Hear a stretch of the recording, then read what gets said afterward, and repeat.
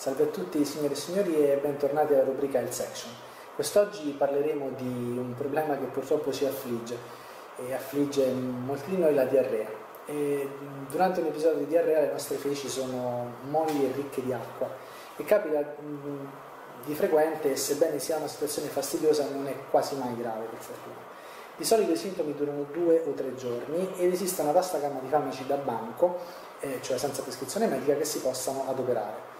Nella maggior parte dei casi eh, si è affetti da diarrea una o due volte l'anno, tuttavia se siamo affetti da sindrome del colon irritabile questo potrebbe avvenire anche più spesso. Eh, abbiamo dei sintomi leggeri e questi sono la sensazione di dover andare in bagno costantemente, delle feci acquose e molli, la nausea, vomito, dilatazione dello stomaco e crampi. E poi abbiamo dei sintomi un po' più seri quali febbre, sanguinamento o muco in cibo indigesto nelle feci o perdita di peso. Attenzione, se abbiamo più di 3 scariche al giorno e non beviamo abbastanza fluidi rischiamo di disidratarci, quindi questo può essere pericoloso se non viene trattato in maniera appropriata. Quali sono le cause della diarrea? Eh, di solito la diarrea è causata da un virus che infetta l'intestino, in gergo spesso si definisce eh, l'influenza intestinale o gastrointestinale. Eh, tuttavia può anche verificarsi in seguito ad abuso di alcol, allergie di alcuni alimenti, allergie verso alcuni alimenti, diabete, patologie dell'intestino, come ad esempio il morbo di Crohn, la colite ulcerosa, o il consumo di cibo eh, irritante per il sistema digestivo, ma anche infezioni batteriche, abuso di farmaci lassativi, abuso di antibiotici e FANS, ipertiroidismo, alcuni tipi di tumore, la radioterapia, operazioni chirurgiche cioè del tratto intestinale, ma anche difficoltà ad assumere alcune sostanze nutritive che è nota come malassorbimento, anche costipazione prolungata e jogging, attenzione perché è un tipo di sindrome che va sotto il nome di diarrea del corridore, può succedere. Quando è che dobbiamo chiamare il medico? Beh, se si nota sangue nelle feci oppure delle feci molto scure, eh, non sappiamo cosa ci sia all'interno.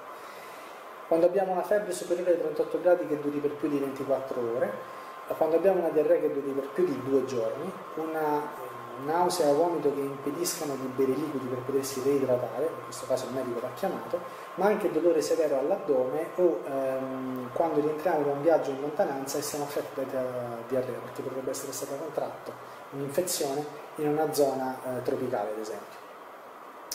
Um, ci sono uh, altri sintomi uh, che possono indicarci la presenza di un'infezione durante la diarrea, ad esempio abbiamo urine scure, poi abbiamo uh, urina, ehm, quantità di urine molto inferiori a quelle della norma, un battito cardiaco accelerato, mal di testa, pelle secca o disidratata o irritabilità e confusione mentale. Questi sono altri sintomi che si possono verificare. Come si tratta? Cosa più importante. Beh, se si tratta di un caso blando di diarrea non ci sarà bisogno di prendere nulla. In alternativa è possibile acquistare uno dei numerosi prodotti da banco e ovviamente la posologia cambia da prodotto a prodotto. Um, quindi abbiamo degli antidiarroici che inibiscono la motilità intestinale e questi vengono utilizzati anche in caso di diarrea acuta in associazione si possono bere delle bevande elettrolitiche via in, oppure si possono assumere per via endovenosa. Um, ora, mh, le sostanze più utilizzate tra gli antidiarroici sono i fermenti lattici e i probiotici, oppure eh, il bismuto salicilato, ma anche imodium, lopemid e dissentan che fanno parte della categoria dell'operamide, utilizzati tutti in fase acuta. Poi abbiamo il, il difenossilato, utilizzato sia in bambini che in adulti, poi abbiamo la codeina come Ederix Plan, infatti la codeina eh, non soltanto è utilizzata contro la tosse, ma è utilizzata anche contro la diarrea acuta non complicata negli adulti, da non somministrare mai ai bambini. Poi abbiamo molto importante la terapia reidratante, infatti la disidratazione è un effetto secondario della diarrea, però è a volte debilitante. Per contrastarlo dobbiamo bere moltissimo. Eh, o appunto utilizzare delle soluzioni eh, endovena che vengono prescritte dal medico. Poi abbiamo degli antispastici e anticolinergici, sono dei tipi di farmaci che vengono utilizzati eh, non come prima linea ma come seconda linea eh, che accompagnano, eh, o meglio che servono a, limitare crampi addominali e dolori in generale. Ad esempio abbiamo Buscopan, Adofixerin eccetera oppure Spasmex, ehm, nonché Atropina Lux. Questi sono dei farmaci, sto dando soltanto alcuni esempi per indicare quali possono essere utilizzati in questi eh, frangenti. Ora è anche possibile associare degli antiemetici, quindi in caso di vomito, a questo tipo di farmaci, ad esempio del biochedase, del plasido, del peride. Ehm, ora, In alcuni casi è possibile che il medico prescriva anche degli antibiotici a largo spettro, nel caso si eh, sospetti un'infezione batterica. Questi sono Normix, Bactrim, Rifocin, eccetera.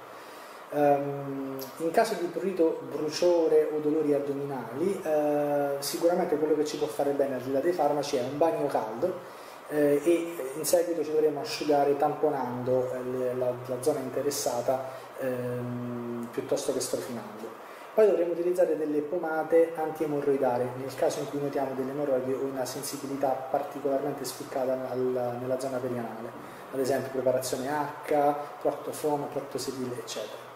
Ora, eh, ultima eh, raccomandazione, eh, oltre all'acqua, per restare reidratati, possiamo eh, utilizzare dei succhi di frutta senza polpa, brodo, bibite senza caffeina, tè con miele o bevande rigeneranti per atleti, ad esempio Gator, Powerade, eccetera. Ehm, penso che con, con, questo siamo a tutte le informazioni che volevo darvi. Eh, se gradite ulteriori informazioni non esitate a scrivermi a raff.pilla.gmail.com ripeto raff.pilla.gmail.com e sarò lieto di rispondervi. Vi ringrazio per la cortese attenzione e buona giornata.